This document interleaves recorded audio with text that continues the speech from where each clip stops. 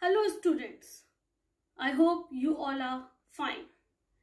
Today we discuss about our motherland, our country, India.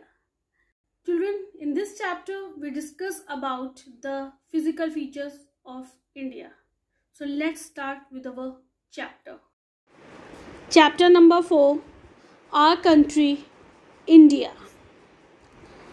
India our motherland is the seventh largest country in the world. It has a population of around 135 crores.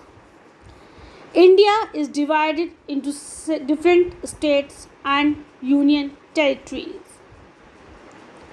And New Delhi is the capital of India. Physical features India is very big and its surface is not same everywhere.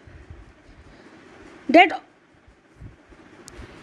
some parts have mountains while some are full of sand. The main physical features of India are the northern mountains, northern plains, Deccan Plateau, the coastal areas, the desert and the islands. The northern mountains. Mountains are very high lands which have pointed peaks.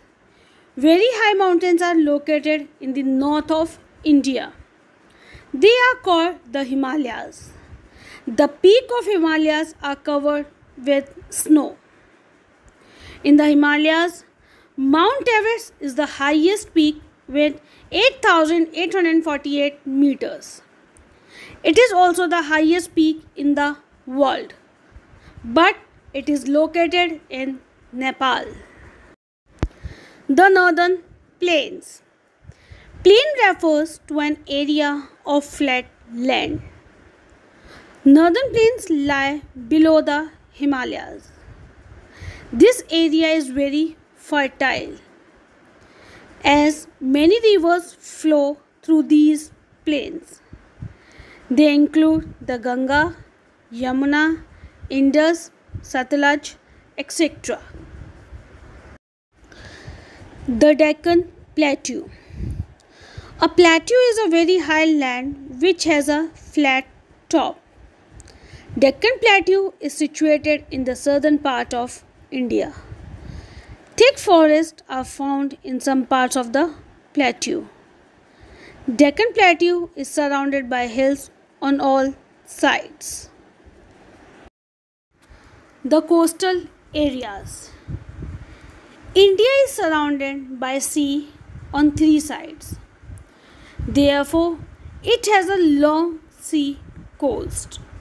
The plain areas where the sea are called coastal areas.